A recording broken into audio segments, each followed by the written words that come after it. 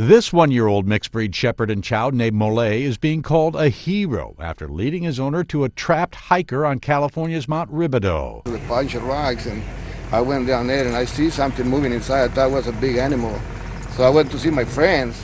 So I tried to talk to the animal, and uh, we find out it was a guy. it was a person there.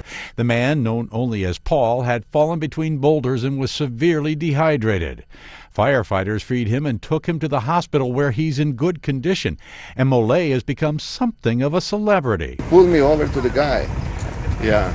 He, he pulled me over to the guy. And my dog, he likes to climb rocks. So everybody says, oh, someday he's going to rescue somebody. And he did it, you know. Even though Mount Rubidoux is popular with hikers, no one reported hearing the man shout for help. Mole's owner credits the canine, saying if Mole hadn't acted, I think it would be too late. Tim McGuire, The Associated Press.